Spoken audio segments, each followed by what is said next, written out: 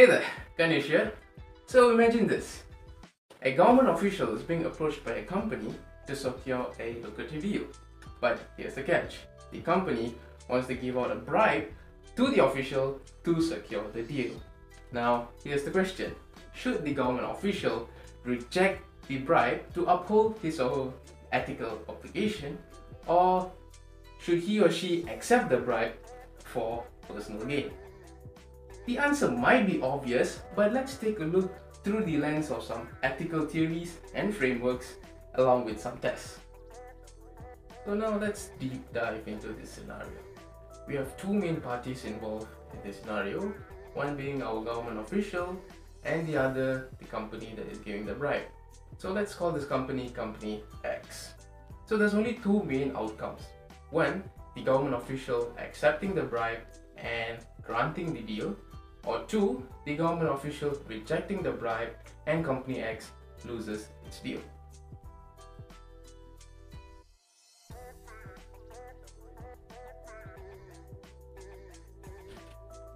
Alright, now let's put this scenario to the test. Our first test will be the harm test, which uses the utilitarianism theory, which was championed by thinkers like Jeremy Bentham and John Stuart Mill which maximizes happiness and minimizes pain.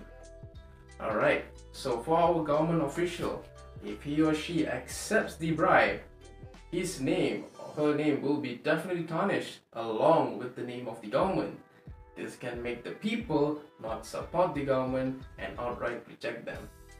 And if he or she rejects the bribe, no name will be tarnished and the people will continue to support the government. Next up, through the eyes of the law, if he or she accepts the bribe and gets caught by the law, they can land themselves in jail or pay a hefty fine, more than the bribe itself.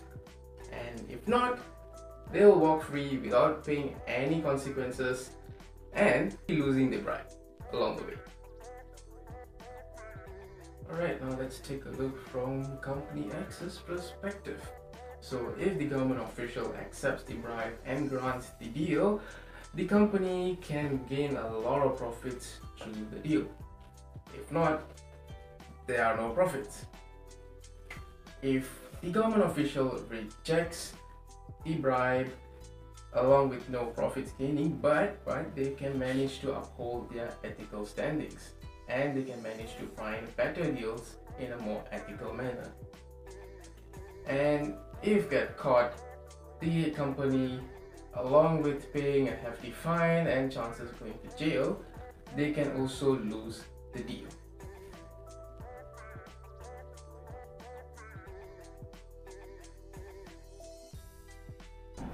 Hi guys, Jolene here.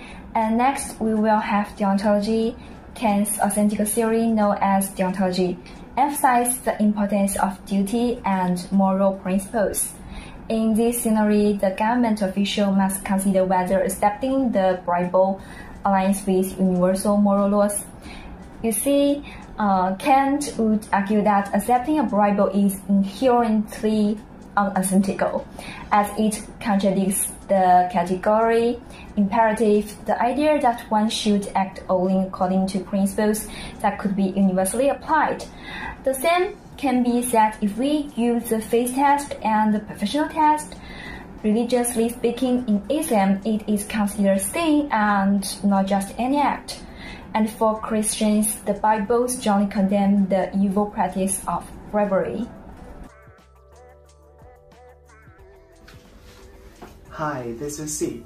Uh, in a professional context, Kant argues that corruption is considered an immoral or morally wrong act, as it directly contradicts the supreme moral principle and the natural sense of duty that accompanies it.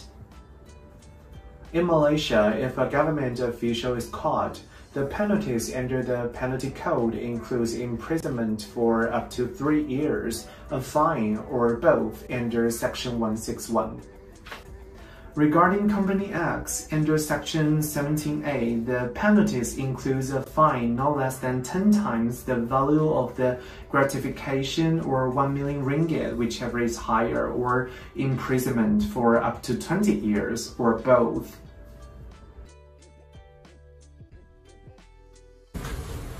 Hi, this is Suvi. Lastly, the public safety test. Personally, I would not like to see myself as the same can be applied to other people in the newspaper or in social media being called for bribery. A real-life example would be the sixth Prime Minister of Malaysia.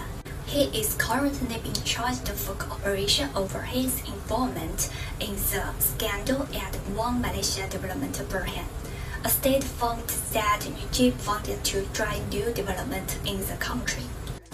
The fund's business is under investigation in at least six countries over allegations that billions of dollars were signed off to buy luxury property, designer jewelry, and art to fund the Hollywood movie Wolf of Wall Street.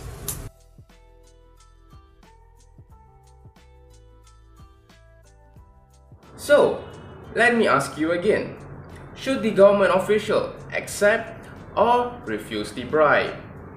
Well, according to the harm test, it was clear that rejecting the bribe caused the most number of positive consequences.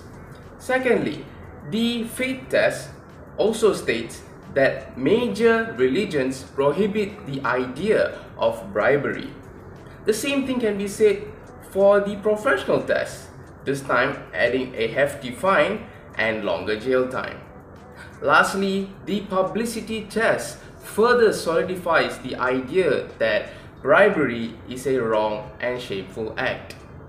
Well, the final verdict is no, the government official should not accept the bribe and should not grant the deal for Company X. While scenarios like this may seem to have an obvious answer, it is good to see through some ethical frameworks and tests such as the ones that we mentioned before, to come up with a more definite answer. Well, that's all from me folks. Ganesh signing off. Thank you and have a nice day.